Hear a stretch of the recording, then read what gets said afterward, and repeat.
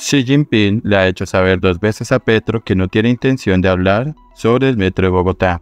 El presidente chino a través de conductos diplomáticos ha recalcado que solo tratará asuntos de Estado con su homólogo colombiano.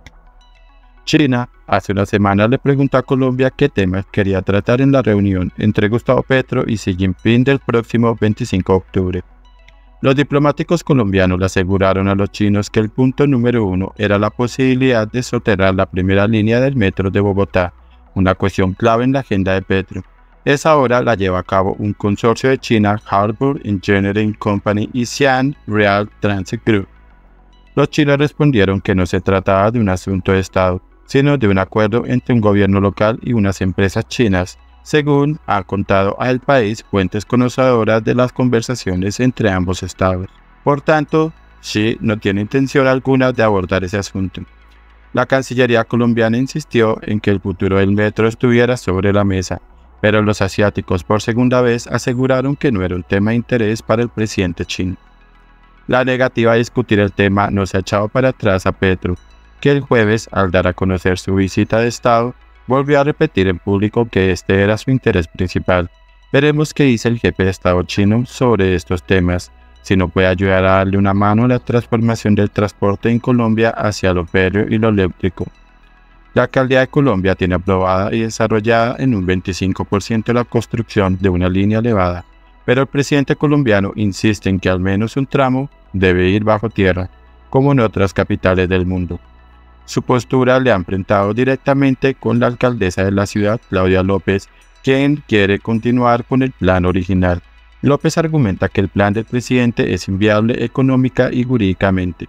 Petro estrechará la mano del que es considerado ya un líder histórico. Xi, de 69 años, es el mandatario con más poder desde los tiempos de Mao Zedong, en marzo fue elegido presidente de la República Popular para un tercer mandato de cinco años, con el voto unánime de casi 3.000 delegados que conforman la Asamblea Popular Nacional.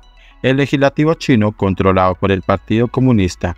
El presidente chino tiene el poder absoluto sobre todos los aparatos del Estado y ostenta la Secretaría General del partido.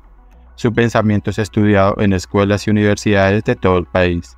En este momento se enfrenta al reto de reimpulsar su economía después de la pandemia en un ambiente de creciente enfrentamiento con Estados Unidos. Xi ha advertido en diversas intervenciones del convulso escenario global y ha denunciado, en un señalamiento al que es muy poco propenso, el hostigamiento de Washington. Los países occidentales, declaró, están implementando una supresión total de China, lo que implica desafíos sin precedentes para nuestro desarrollo.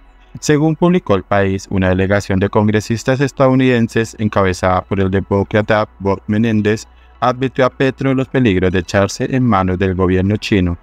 Agarrar el dinero de Pekín se acaba pagando, le dijeron al presidente. Petro replicó que una manera de evitar la irrupción de China es redoblar la cooperación de Washington. En concreto dijo que era necesario convencer al presidente Joe Biden de financiar la compra de tierras de ganaderos por parte del Estado para entregárselas a los campesinos. Las relaciones entre China y Colombia, sin embargo, no han dejado de crecer. Las inversiones se han triplicado entre 2021 y 2022. Además del acuerdo por el metro, Capital Chino construye el Regiotran, un tren que conecta Bogotá con varias poblaciones vecinas, y la compañía Sejin Mining compró una mina de oro de Burítica en Antioquia, a la canadiense Continental Gold. China también está interesada en invertir en la próxima licitación de telecomunicaciones 5G, además de múltiples proyectos ferroviarios y viales que se licitarán a finales de este año o que se encuentran en fase de planeación por parte del gobierno. De todos modos, no todo camina sobre paso firme. De acuerdo a un informe de la consultora Colombia Risk Analysis, dedicado a las percepciones locales sobre la inversión china en el país, el gobierno de Gustavo Petro no está preparado para profundizar su relación con China desde el punto de vista económico, político ni geoestratégico. El estudio sostiene que existe una falta de conocimiento y comprensión sobre China y su forma de hacer negocios entre los funcionarios públicos colombianos, la comunidad empresarial y el público en general. En cuanto al metro, la alcaldía y el gobierno crearon una mesa de trabajo para buscar alternativas, pero por el momento no se han encontrado una que satisfaga a todas las partes. El gobierno local proponía mantener como está proyectada la línea 1 y soterrar la siguiente, la 2. No estamos de acuerdo con que haya que paralizar la obra para volverla subterránea. No vemos el motivo. Está contratado así y hay que hacerlo. Comentan desde la alcaldía. Para contrarrestar esos argumentos, Petro ha contratado con la Sociedad Colombiana de Ingenieros un estudio express para que determine si es posible soterrar la línea.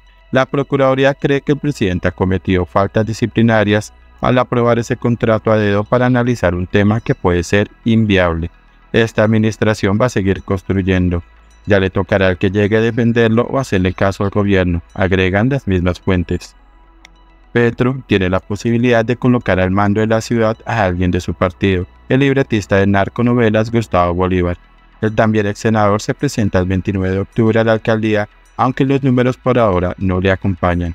El candidato del nuevo liberalismo, Carlos Fernando Galán, lidera todas las encuestas.